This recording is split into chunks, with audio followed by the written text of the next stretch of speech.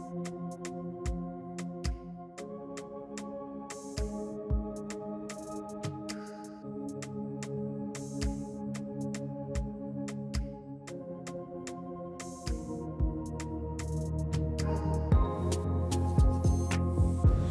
the challenges are, for whatever reason, African men do not go to have their PSA checked.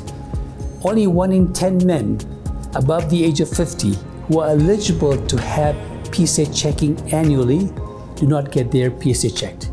We at AKU have a big promotion when it comes to the Prostate Cancer Month, where we give very subsidized PSA testing. Even then, we do not see participation. So PSA testing very important in the African context. In the North American context, we say PSA testing may not be that important because we pick up very low levels, we do a lot of testing, we waste a lot of money, and patients die of other diseases. So we should not worry about a PSA in the countries where the prevalence is low, detection is very high at a very early stage. In Africa, we pick it up at a late stage. For whatever reason, African men have a high predilection for prostate cancer. It's more aggressive. It comes at a younger age.